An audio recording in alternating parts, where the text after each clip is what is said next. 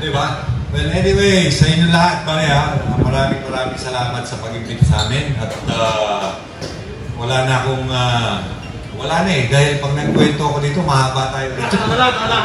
Yan. Okay, ito, ito, ito. Tanungin mo na lang ako. Eh, tsaka lang, tsaka lang.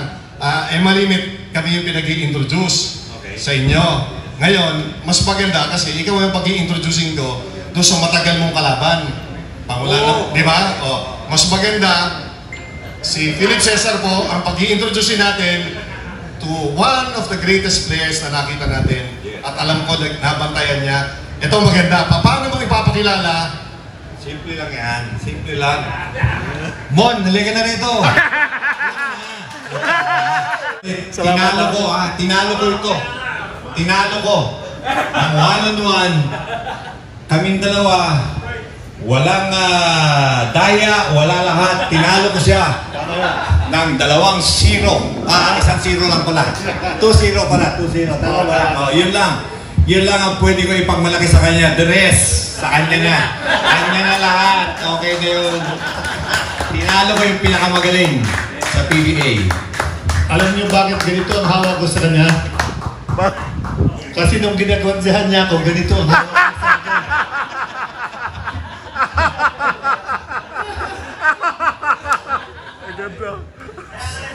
Una kami magka-teammate ni Ipe, nila Atoy, nila Ompong.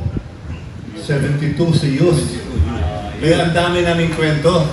Pero reunification ang gusto natin. Eh. Ayaw ko na lang magkwento. Kakalimutan mo na na ulit. Hindi na, hindi na. Maraming salamat sa inyo, Freddy Balde. Nagkasama kami sa beer houses, si Atoy ko, Manila Beer for a while.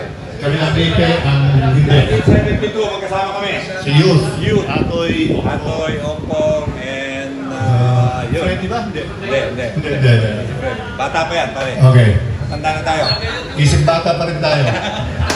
Thank you. Anyway, again. Hope to see you one of these days in a bigger uh, get together with all the other Krista players. What I said kanina, reunification to a start of reuniting eh.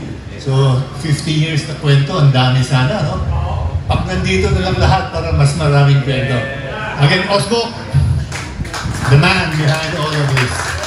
Players, thank you very much. And of course, sa ating mga kaibigan sa press, uh, magandang gabi.